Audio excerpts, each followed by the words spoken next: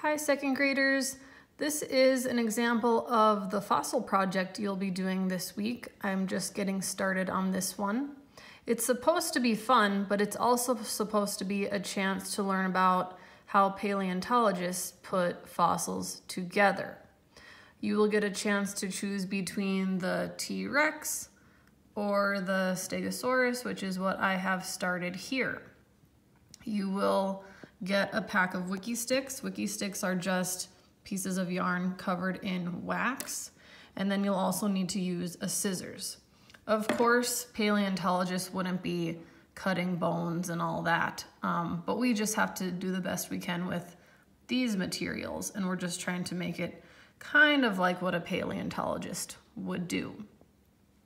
What you'll notice about this project is that it is a little tough. It's a little challenging and you do need to go slow. You need to take your time and make it really nice. We don't want to rush through and make it sloppy. So what you'll do is you'll take the wiki stick and cut it to the correct size to cover the bones of the dinosaur. And you can see that I've done a little bit of that here so far. I don't really expect you to cover all of these big plates if you choose the Stegosaurus or, you know, all of these big bones, unless you want to. If you want to cover those all in with Wikki Stix, that would be fine, but you don't really have to. You can just kind of bend them around the shape like I've done here, and that would be fine. Um, you do need to make sure that you press them on and press down pretty hard so that it sticks because I want you to show this at our Zoom meeting on Thursday and I want I don't want them to fall off when you show it. So press down pretty hard and they should stick on for you. Um, see, that one wasn't stuck very good.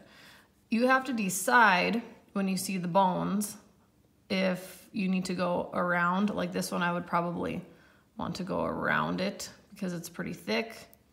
But this one's a little thinner, so I could probably just cover it up with one little cut piece. One problem you might run into is your scissors could get a little gummed up with the wax. The wax that's on these sticks can be a little sticky and it can get onto your blades. So if you run into that trouble, please just ask an adult to wash it for you with some soap and hot water. Um, you might need to do that partway through your project or just wait until the very end and have somebody wash it for you so that your scissors are still good to use for other projects. All right, like I said, go slow on this, make it nice, and plan to show this at the Zoom meeting on Thursday.